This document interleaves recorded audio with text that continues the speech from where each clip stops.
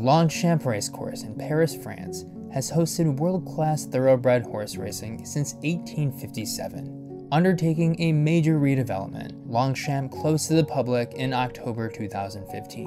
On this episode of Project Innovation, we tour the site with Apolline Locqueville of Bouygues Construction.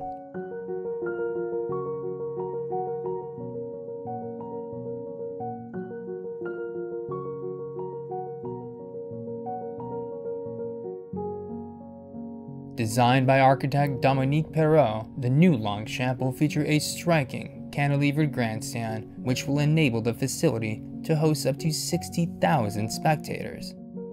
In addition to the grandstand, the project has also redeveloped several support structures, including the stables and the veterinary pavilions.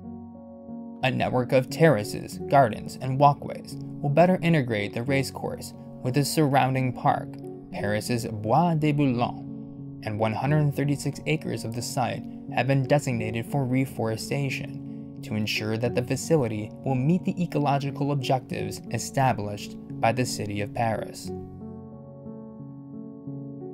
The new grandstand is nearly 250,000 square feet, and spectators will enjoy views overlooking both the parade ring and the tracks on every floor. The plan incorporates several luxury amenities, including restaurants, private suites, and large event spaces with catering facilities and access to box seating.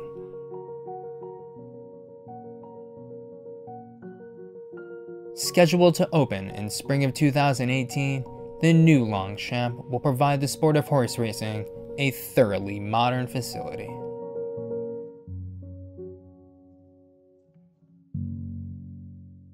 This episode of Project Innovation was brought to you by Procore. Software for construction by construction. Click to subscribe and see more at builtworlds.com.